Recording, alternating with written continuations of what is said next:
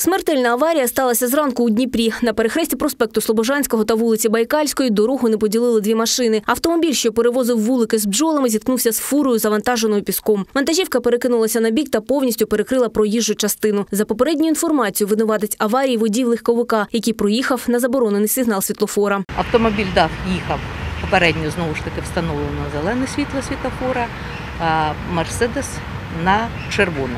Водій автомобілю Мерседес не надав переваги у русі вантажівці і допустив зіткнення, в результаті чого маємо двох людей, які загинули, і один важко травмований. Водій вантажівки після аварії був у шоковому стані, але серйозних ушкоджень не отримав, і він був тверезий, кажуть у поліції. Другий кермувальник загинув на місці. Двох підлітків, які були в салоні його автівки, ушпиталили, але 14-річного хлопця врятувати не вдалося. Він помер у лікарні. Інший постраждалий 13-річний юнак зараз в реанімаційному відділенні обласної дитячої лікарні. Медики говорять, його стан важкий, і хлопець не пам'ятає, що з ним трапилося зранку. У ребенка черепно-мозговая травма, травма органов грудной полости и брюшной полости.